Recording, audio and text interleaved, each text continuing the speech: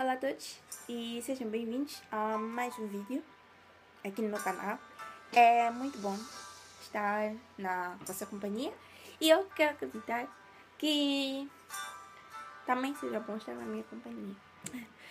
Bem, o, importante, o, o que eu mais importa assim é o que o conteúdo do meu canal e, e, e, e, e, e, e os internautas que estão desse lado, né? Caso ainda não tenha se subscrito, não esqueça, vai à página principal do meu canal, coloque lá um, like e partilhe os vídeos e subscreva também.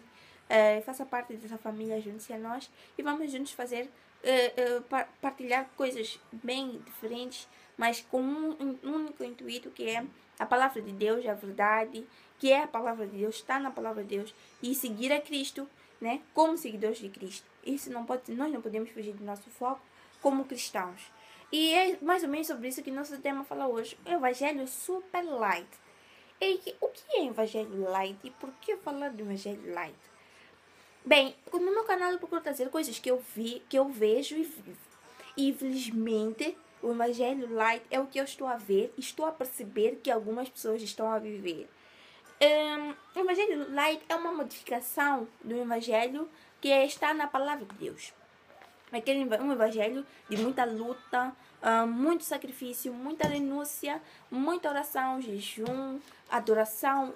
Todo isso complementa o evangelho da palavra de Deus, um conjunto de padrões. Um, um, um, a palavra de Deus já está padronizada, o estilo de vida e umas linhas de ação, já tudo ali explícito e que está sendo modificado com as condições atuais do mundo. Ou seja, é um mundo para a palavra de Deus e não da palavra de Deus para impactar o mundo.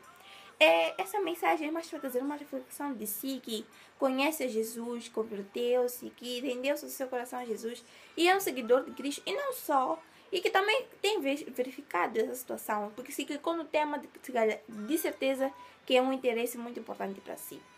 O Evangelho Super Light um, é considerado um evangelho muito moderno um evangelho em que as pessoas uh, vivem as coisas, mas vivem aquela palavra que diz que o Senhor cresça e eu diminua, mas do lado de maneira oposta, que o, o Senhor diminua e eu cresça. E, e, e, então as minhas vontades falam alto, o meu querer fala alto.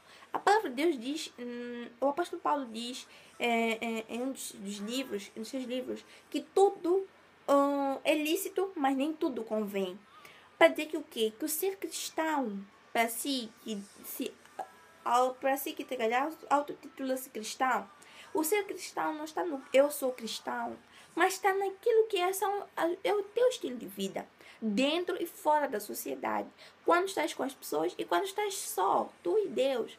Porque o que mais importa é o teu relacionamento com Deus. Como é que é aquele contato com o Senhor, aquele tempo com Deus importa muito. E quando esse tempo com Deus é danificado com coisas externas, isso acaba gerando sendo um problema, né? Principalmente para si, com o tempo, com a pessoa, no interior da pessoa e Deus. Uh, a palavra do Senhor diz em Mateus 25, 24, 35, uh, assim diz: O céu e a terra passarão, mas as minhas palavras não de passar. O Senhor Jesus, o Senhor Jesus foi muito claro. Por quê? Porque a palavra de Deus ela é moderna. Ela já ela é, eu, eu considero moderna. Porque ela já nos alerta, nos alerta desde, desde muito, muito tempo acerca dessa situação. De que aquilo que foi padronizado como estilo de vida como se, pelo Senhor Jesus iria ser acabar sendo modificado pelos homens. Ele nos alertava termos cuidado com os homens, com determinadas coisas.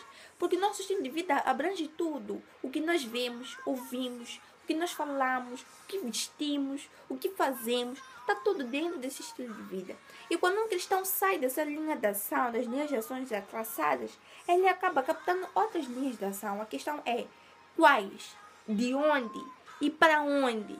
Porque até como diz a Gabriela Rocha numa das suas, num dos seus jabos, para onde iremos nós?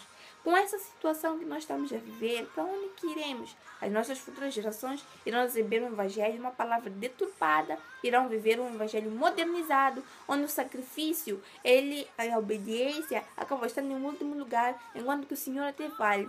Ele até fala que vale a pena obedecer do que sacrificar.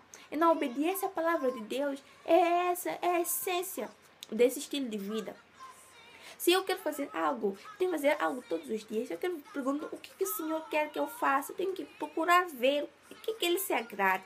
Não só um dia, não só num dia da semana, domingo, um dia de culto, ou até nas minhas orações, mas na minha maneira de ser também. Tudo isso conta. Então eu queria trazer esse tema porque é muito importante. E até vai ter continuidade, porque ainda tem muitas outras coisas para falar.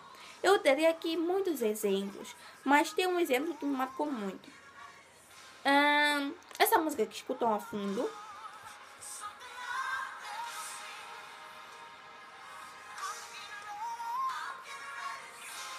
É muito linda. Ela tá chacó.